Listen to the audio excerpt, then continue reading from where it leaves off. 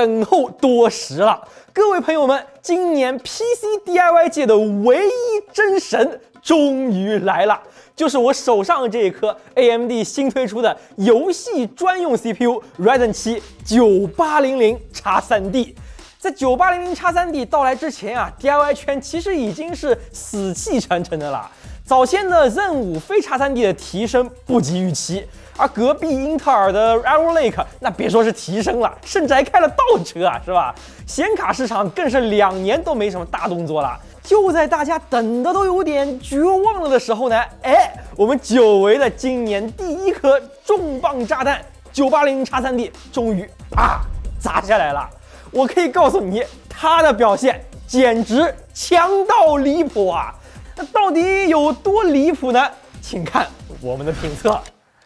AMD 在三年前给处理器领域带来了 3DV Catch 技术，通过先进的 3D 封装工艺啊，把大缓存堆叠在了 CPU 上，来改善 CPU 的内存瓶颈。这本来啊是 AMD 做给 Epic 用在服务器上的东西，结果却意外的发现，哎，它对游戏居然有奇效啊！因为现代游戏有很多在 CPU 侧是 memory bound，就对内存子系统的要求是很高的。内存缓存瓶颈之后呢，CPU 核心就算再强，也没有办法在游戏里完全发挥出来。于是乎啊，AMD 在两年前做出了一颗史无前例的台式机 CPU 5800X3D，将这个缓存堆叠技术下放到了消费端。这可能也是 PC 上第一颗真正的游戏专用 CPU 啊。五八零叉三 D，我们当年也测过，确实在很多内存瓶颈的游戏里，这颗 Zen 三甚至可以打赢 Zen 四和十三代的新平台。而后来的 Zen 四的七八零零叉三 D 也是延续了这种强势表现，至今依然是这个世界上最强的游戏 CPU。那现在看来，能打败叉三 D 的就只有叉三 D 自己了。那么今天它就来了，Zen 五架构的九八零零叉三 D。今年 AMD 的动作很快啊，没有再拖一个一年半载了。这 Zen 五的首发还历历在目，没几个月呢，X 三 D 现在就已经端上来了。而且这一次 X 三 D 有一个史诗级的大更新。你要知道啊，之前不管是 Zen 三的 X 三 D 还是 Zen 四的 X 三 D，它们都是 3D 缓存放在上面，计算核心放在下面这么设计的，这就带来了一个大问题，就是严重的积热。因为 CPU 核心没法直接接触到顶盖，没法把热量直接传导到散热器，那中间还隔了这么大一片缓存，CPU 的热量啊就出不去，闷在里面了。正是由于这样的积热问题呢，就导致这个五八零叉三 D 和七八零叉三 D 它们都是不能超频的，而且不仅不能超频，它们的默认频率甚至都受到了很严重的影响，定得很低啊。它们的生产力性呢，比起非叉三 D 有的时候反而是更差的。甚至还有像五七零叉三 D 这种频率瘸腿的叉三 D 处理器，可以说频率上不去已经成为了这个叉三 D 最大的短板了。但是这一次的九八零零叉三 D 可就大不相同了。这次 AMD 把三 D 缓存和 CCD 交换了一下位置，缓存放到下面去了，CPU 放上来了。啊，这也就是 AMD 的第二代 3D V-Cache 技术啊。这个听起来似乎并不像什么大改动，却直接解决了 X3D 处理器最大的问题，它不积热了。因为处理器真正的热源啊，就是 CCD 计算单元。而现在 980X3D 的 CCD 呢，和 970X 一样，它是直接接触顶盖去散热的。按照 AMD 的数据，它的热阻是直接降低了百分之四十六。反映在默认频率上啊，九八零叉三 D 的基础频率比七八零零叉三 D 直接是高出了五百兆，加速频率也高出了两百兆，而且啊，它也成为了第一款能够超频的叉三 D 处理器，大缓存配高频，哎，我已经有点期待它的性能了。那这次的九八零叉三 D 依然是基于最新的 Zen 五架构，Zen 五我们在之前视频里就已经好好分析过了，这里就不赘述了。那九八零零叉三 D 和同为八核心的九七零零叉相比呢，它的 L 三缓存是大了六十四兆，默认的功耗墙也比九七零叉定的更高。九七零叉默认功耗墙就只有八十八瓦，而九八零叉三 D 居然有一百六十二瓦的功耗墙啊！那考虑到 Zen 五的能效表现，这个功耗墙可能你永远都撞不到啊！那正式开始测试之前，我们来看一看这一次的测试平台。好了，好马配好鞍啊！我们这一次依然是使用了 ROG 新推出的 Crosshair X870E Hero 主板。作为纯血 ROG 主板，它的用料肯定是相当扎实的。在供电部分是给了十八加二加二项供电的方案，五个 M2 插槽，其中三个是支持 PCIe 5.0。网络部分给了双网卡的设计，一张 5G 的 Realtek 有线网卡和 2.5G 的英特尔有线网卡，以及 Realtek 的 WiFi 7无线网卡。I/O 接口部分还提供了两个 40G 的速率的 USB 四接口。那外观方面呢，这 X870E Hero 也是延续了 ROG 主板的一贯风格，设计的相当漂亮啊！巨大的 ROG 灯效覆盖了整个 I/O 接口和供电区域，还改进了显卡和 M2 硬盘的快拆设计。加上新改进的更适合内存超频的 NitroPass 内存的优化插槽，就共同构成了这一张旗舰主板了。显卡部分为了避免瓶颈，我们还是使用了 RTX 4090 FE 显卡。4090在我们的脑海中呢，一直是无敌的存在啊。但是它毕竟已经推出有两年了，搭配最新的游戏 CPU，它是否还能不拖后腿呢？那内存部分，我们 AMD 平台是使用了延迟优化的六千 C 二八规格，英特尔平台呢是使用七千二 C 三四的规格。尽可能最大程度发挥他们的潜力。那所有的英特尔平台都解锁限制，所有的 AMD 平台都开启 PBU。那前一代的七八零零叉三 D 其实是完全超不了一点屏的，那 PBU 对它来说也没啥用。而这一代的九八零零叉三 D 又有一点不一样啊，它虽然能超屏，但是开了 PBU 也一样没什么用，因为我们前面讲过了，它的这个功耗墙是定的非常高的，所以 Auto 下就已经不撞墙的在全力跑了。那你开启 PBU 解开限制，其实也不会再提升性能了。要想提升的话呢，就得进一步手动超频了。这个我们后面也会来试试看的。然后啊，我们所有的测试都是在一零八零 P 的分辨率下进行的。那肯定又有不懂图形学、不了解游戏引擎工作原理的同学要嚷嚷了：为什么不测两 K 分辨率啊？为什么不测四 K 分辨率呢？那我这里再给大家解释一遍啊，就是我们打游戏时最终的这个帧率啊，是由 CPU 帧。和显卡帧两者取其低决定的，而 CPU 帧啊，它基本上是不受分辨率影响的啊。在同一款游戏，在同一种画质设定下面，你跑 4K、两 K、1080P 甚至 480P，你的 CPU 帧都是接近的。所以我拿 1080P 测出来的 CPU 帧和你拿 4K 测出来的 CPU 帧，并不会有太大区别。因为 CPU 在游戏中主要的工作啊是处理逻辑计算、物理计算，还有像 draw call 绘制调用这一些，它是不受分辨率影响的。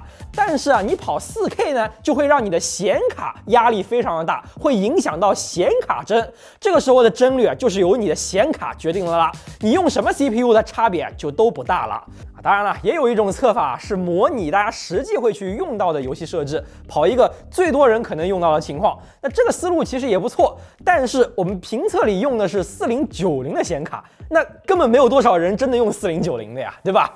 要模拟用户情况，我是不是还得换四零七零来测呢？那假设换了四零七零测，那四零六零的用户又要说你这个没有参考价值了，哎，A 卡用户又要说你这个是歧视啊，为什么不用 A 卡测呢？对吧？那最后这件事情就会变得毫无意义了啊，因为你已经不知道你在测些什么了呀，对吧？做实验的基本要义就是要控制变量。既然我们在对比 CPU，那我们就专心测 CPU 帧，抛开显卡的变量啊！你就记住啊，这个是 CPU 之间应有的性能差距。但是啊，受你搭配的显卡还有画质啊、分辨率这些的影响，实际在游戏里的这个差距呢，对你来说只会更小。小多少就取决于每个人的不同情况了。好，相信大家已经等候多时了。哎，这个九八零叉三 D 游戏性能到底怎么样呢？现在我们就来揭晓答案。来，首先跑一下必测的 FPS 竞技游戏 CS 二。哇，这一上来就是开门红啊！九八零叉三 D 啊，在 CS 二中真的是独一档的存在啊！平均五百六十帧，大幅领先英特尔阵营的同时呢，相比自家上一代的七八零零叉三 D 也强出了百分之十三啊！这苗头看起来确实不错啊，那我们多跑几个游戏看看。来，吃鸡这个对于内存要求是非常非常高的，叉三 D 一直以来啊，在吃鸡里都很有竞争力啊。而这次的九八零零叉三 D 呢，在吃鸡里面更是格外的强啊，平均三百一十三帧啊，其他几位对手都是两百帧出头，它已经跑到三百帧以上了，比起幺四九零零 K 快了百分之四十七啊！相比七八零零叉三 D 呢，也要快百分之三十五，相当厉害啊！那查看录屏啊，你就会发现这一代 CPU 带放到上面之后呢，散热器可以直接接触到 CPU 了，解决了散热问题之后呢，频率当然是很明显要比七八零叉三 D 高出不少的。游戏里终于能够跑到五点二 G 赫兹了，这个也就解决了叉三 D 最大的一个软肋。再叠加上 Zen 五架构的进步啊，有这样的游戏表现就不奇怪了。与此同时啊，你看它的这个 CPU 温度啊，也可以控制得很低啊。啊，但是因为频率高了一大截的关系呢，所以功耗相比七八零零叉三 D 还是要高不少的。那不管怎么说，反正强就完事儿了。吃鸡的表现还不是最逆天的，我告诉你，它甚至还能更强。在刚刚推出的《使命召唤：黑色行动六》里啊，九八零零叉三 D 跑出了惊人的三百九十八帧啊，比起幺四九零零 K 高出了百分之六十七呀。甚至于它的百分之一最低帧都要比任何一台英特尔的平均帧来的更高啊！哇，这太离谱了。那相比七八零零叉三 D 呢，它看起来提升似乎并不大啊，但这并不是因为九八零零叉三 D 不够强，而是因为显卡瓶颈了。哈，没错啊。这个四百帧的帧率实在是太高了，以至于哪怕开到一零八零 P 高性能档 DLSS 最低画质，我们的四零九零也会先出现瓶颈啊！就参测的这五颗 CPU 里，只有七八叉三 D 和九八叉三 D 是怎么降画质都能让四零九零出现瓶颈的，那九八叉三 D 是尤其的明显啊！我只能说四零九零已经不能完全配得上这个 U 了，哈哈。啊，再来玩一个很吃 CPU 的 FPS 的网游新作《三角洲行动》。作为腾讯做的《战地》啊，《三角洲大战场》的这个六十四人同时联机呢，也和《战地》一样，对 CPU 提出了很高的要求。我们这里测了临界点这一张图，打攻防，这几颗 CPU 啊，普遍可以跑到两百多帧的样子。九八零叉三 D 依然可以保持领先，不过领先幅度就没有之前那么大了。它相比幺四九零零 K 可以快百分之二十三，比七八零零叉三 D 快了百分之十四。看完了四个 FPS 的竞技游戏，我们再来看看各种其他类型的网游好了。首先来一个轻松愉快的英雄联盟啊！对于现代的 CPU 来说，撸啊撸的帧率可能就真的只是一个数字而已了。反正没有跑不流畅的，对吧？撸啊撸倒是为数不多的完全没有内存子系统瓶颈的游戏，大缓存在这里是完全的不起作用啊。叉三 D 终于败给了频率更高的九九五零叉。不过还是要比英特尔阵营强得多啊！最近有一个大家都爱讨论的游戏，就是《怪物猎人：荒野》，终于开启了贝塔测试了。结果这次的怪猎啊，是被大量的玩家诟病它的优化稀烂啊，各种图形问题、性能问题层出不穷啊，尤其是它对 CPU 的要求非常的高。那我们也是二话不说啊，就用这几款 CPU 跑了一下《怪猎荒野》的贝塔啊，就在新手村里面随便逛一逛，这就已经很卡了。这果然是一个优化相当差的游戏啊！哪怕是这些旗舰平台，CPU 帧都只有八十到九十帧，百分之一低帧都不到六十帧。那些用着 Zen 二和 Skylake 老平台的同学，可能也就跑个四五十帧吧。游戏体验简直就可以用煎熬来形容了。而且在这之前，很多同学的显卡可能就已经吃不消了。感觉卡普空确实需要好好的努努力啊。那来看一下性能啊，九八零叉三 D 在荒野里面没有之前的优势那么大，但仍然和幺四九零零 K 拉开了百分之二十五以上的差距，可以跑到一百帧以上啊。相比七八零零叉三 D 强了百分之二十，它是唯一一颗在荒野里百分之一低帧跑上了六十帧的 CPU 啊。那接下来我们来玩一些传统的三 A 大作，首先还是和 CPU 关系比较大的《艾尔登法环》。我们解锁帧率之后呢，法环的压力依然不小，但九八零叉三 D 的表现是很不错啊，平均跑上了一百七十六帧，比幺四九零零 K 强了百分之三十五，它的百分之一低帧都已经和二八五 K 的平均帧差不多了，哈哈，而且它这个全大核还不会像英特尔那样出现大小和调度造成的卡顿问题啊。那另一个很吃 CPU 的大作《博德之门三》啊，我们跑了第三章的下城区，九八零叉三 D 的优势就更大了。平均一百七十帧，远超两位英特尔的对手，比七八零零叉三 D 都强了百分之三十一啊！而传统的显卡杀手赛博朋克2077呢，其实在大世界开车的时候，对于 CPU 的要求也是很高的。我们这里测试了狗镇自驾游的性能啊，7800 x 3 d 在这里的表现就已经很好了。那980 x 3 d 大概能再强出个百分之十二，平均能够跑到一百八十帧以上，也是大幅领先两颗英特尔的旗舰 U 啊。然后啊，就轮到众生平等的微软模拟飞行了。当我们把飞机的种类和数量都拉满之后啊，这个游戏真的就是 CPU 杀手啊！在大型的国际机场起降啊，所有这些 CPU 都跑不到六十帧啊。不过九八零 x 三 D 姑且还算里面最给力的，平均五十四帧，和其他几位四十多帧显然不在一个量级。然后我们又测了两个二游，先来看一下《绝区零》，这个是极其吃内存缓存的游戏。我们还是在光影广场跑图，结果你猜怎么着？这九八零零叉三 D 居然跑上两百帧了！这比起其他几颗 CPU，真的是质的飞跃啊，就完全不是在一个星球上了。那英特尔其实，在绝学零里面也并不弱，但是幺四九零 K 仍然被九八零叉三 D 拉出了百分之四十九的差距啊！哇，这实在是太强了。明朝的表现也是类似啊，九八零叉三 D 平均跑上三百帧，远超英特尔，也比前代的七八叉三 D 强了百分之十五啊。最后啊，我们再来看几个策略类的游戏，这些游戏往往也是很吃 CPU 的。首先就是戴森球计划，那戴森球对于内存缓存是极为敏感的，结果九八零叉三 D 创造出了目前为止最最逆天的一个性能成绩，平均一百四十三帧啊。比起幺四九零零 K，直接强出了百分之七十七啊，太恐怖了！人家才刚刚流畅运行呢，它已经能用上高刷了。比起七八零叉三 D 呢，也能强出百分之三十五，真的是疯了。那我们再来看一下城市天际线。由于天际线二玩的人数还不到天际线一的一半啊，所以我们这一次还是决定用天际线一来测试。毕竟各大 CPU 至今都还没有征服大人口加倍速的天际线一呢。那天际线一其实一直以来都是一个 A 黑游戏，这一点从九九五零 x 的表现就不难看出了，远远的逊于幺四九零 K。但哪怕顶着这种低 buff 的情况下呢，九八零 x 三 d 仍然啊可以轻松的超过幺四九零 K，平均可以跑到四十五帧。嗯，哪怕就是现在最强的 CPU，在天际线面前依然是众生平等啊。那最后啊，我们还测试了 P 社的策略类游戏《维多利亚三》，从一九零零年一直跑到一九零一年，记录下 CPU 计算所花费的时间。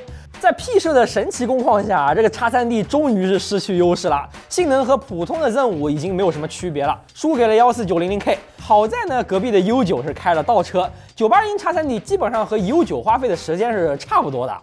十五个游戏综合下来看啊，这个九八零叉三 D 相比幺四九零零 K 是强了百分之三十六，相比七八零零叉三 D 强了百分之十九。啊，这个游戏里的进步幅度，我觉得已经是相当可观的了。你要知道啊，游戏是没有办法通过堆核、通过砸规模来解决问题的，你必须老老实实的解决瓶颈所在。那如果说之前的叉三 D 是解决了内存缓存的瓶颈，这一代的叉三 D 就是解决了积热瓶颈，终于把频率给跑上去了。这样一颗用了最新架构、频率也足够高、缓存还超级大的 CPU，你说它的游戏性能怎么可能不强呢？如今除了游戏里的帧率之外呢，咱们玩家可能还会遇到的另一种情况就是编译着色器。越来越多的游戏啊，需要我们在第一次进入的时候等待编译啊，所以我们这一次也测试了一下《黑神话：悟空》搭的这个编译着色器的性能啊。这个时候呢，叉三 D 可能就没有多大的用处了。编译是可以吃满所有的 CPU 核心的，八核规模的九八零叉三 D 啊，在这里就明显不敌九九五零叉和幺四九零零 K 啊，还有二八五 K 这些更大型的 CPU 了。花了将近三分钟的时间才跑完，好在是编译着色器，其实也就每个游戏第一次进的时候需要等一会儿，之后就用不着了，所以也不是什么大问题吧。对了，既然这一代的叉三 D 解开了频率的封印，是不是意味着五点二还不是它的极限，还能再接着往上超呢？你还别说，我们试了一下，它确实还能超频啊。在三六零水冷的散热下，我们最高能从五点二 G 超频到五点五 G。这个频率下，游戏还是能够稳定运行的。不过烤机我们是过不了了。稳定过烤机，我们这一刻就只能跑五点四。那超到五点五之后，CS 二是能够进一步的跑到五百九十帧，吃鸡啊更是能够跑出三百四十五帧的逆天成绩。老头环也跑上了一百八十三帧，绝区零也来到了二百二十七帧。哇，我好久没有为一颗台式机的 CPU 这么兴奋过了，感觉是在创造历史啊！哎，那我就有点好奇了，如果我们搬出液氮，把这一颗九八零零叉三 D 死命往上抄，它的游戏性能到底还能强多少呢？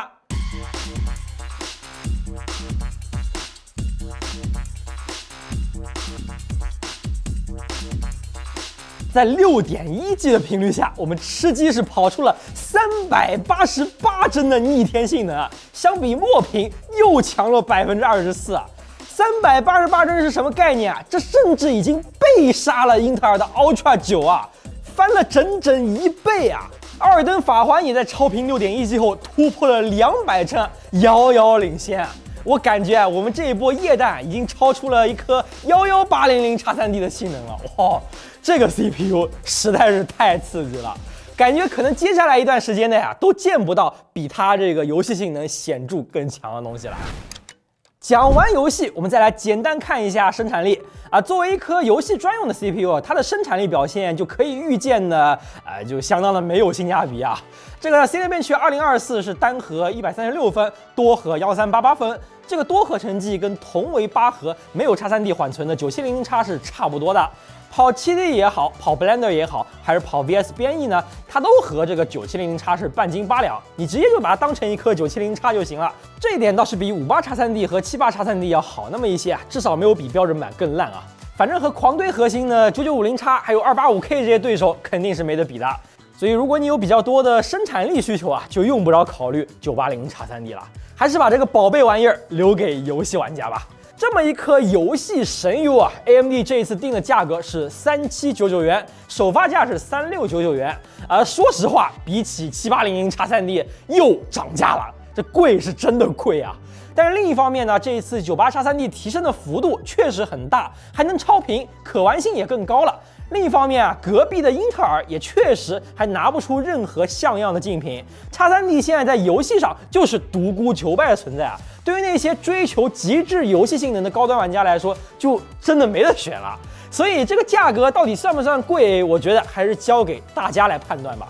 反正单说产品本身的话呢，九八零零叉三 D 真的是今年 PC DIY 游戏领域的唯一真神啊！它实在是太强了。我现在就希望英特尔能够早点支棱起来啊！再这么拉垮下去，我是不知道 AMD 啥时候才能降价了。好了，以上就是本期九八零叉三 D 首发评测的全部内容了。如果你觉得够牛逼的话，一定要长按点赞，一键三连支持我们，也别忘关注我们极快的频道。那我们就下次再见了，拜拜。